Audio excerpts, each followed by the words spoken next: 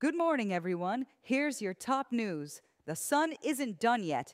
It just unleashed the strongest solar flare of the year, an X5.1 blast that blacked out radio signals over Europe and Africa and disrupted flights. A plasma cloud is racing toward Earth and supercharged the auroras.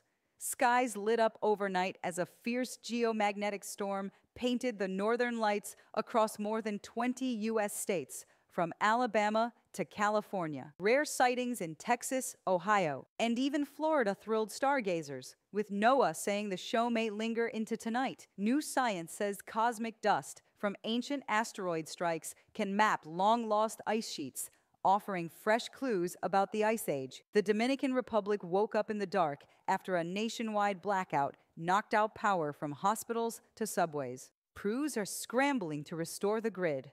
And in weather, brace for a brutal Arctic cold front slamming the eastern U.S. today. Over 80 million under alerts as temps plunge 20 degrees below normal, shattering records from Florida to New York. Expect freezes, early snow in the Appalachians, and wind chills in the single digits. Chicago's even got its first winter storm warning in nearly two years. That's your morning briefing. Stay warm, stay bright.